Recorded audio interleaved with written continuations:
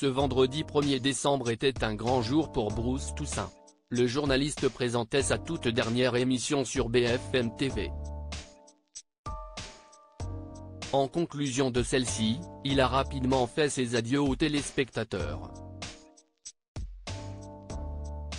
Clap de fin pour Bruce Toussaint sur BFM TV. À 50 ans, le journaliste a décidé d'opérer un changement important dans sa carrière et ce vendredi 1er décembre marquait sa dernière apparition sur la chaîne d'information en continu.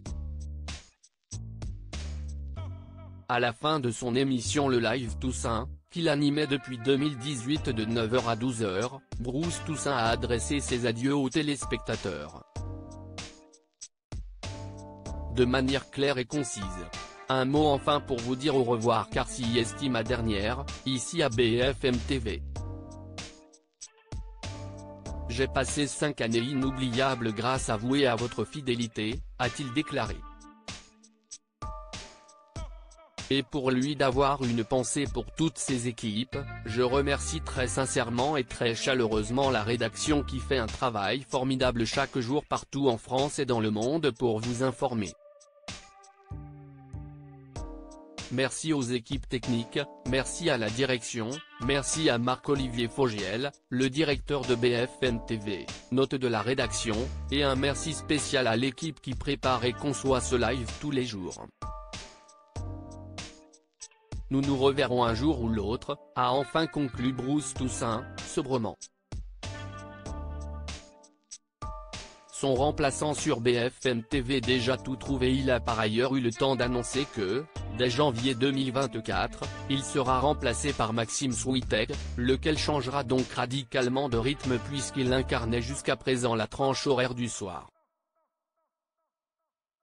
Le jeu des chaises musicales a alors été lancé chez BFM TV qui a décidé de miser sur Julie Hameut pour récupérer les commandes du 22h minuit.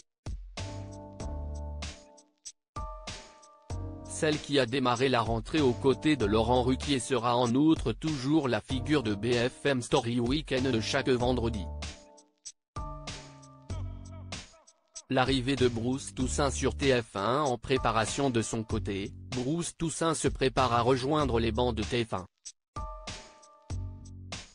Au mois de janvier, il présentera la nouvelle matinale de la chaîne qui lui a mis la pression pour partir plus tôt que prévu de BFM TV.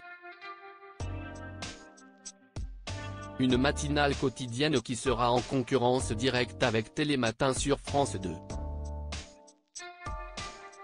Et la bataille à d'or est déjà commencée puisque les équipes de ce programme inédit a entrepris de piquer une chroniqueuse de leurs rivaux, à savoir Maud Descamps.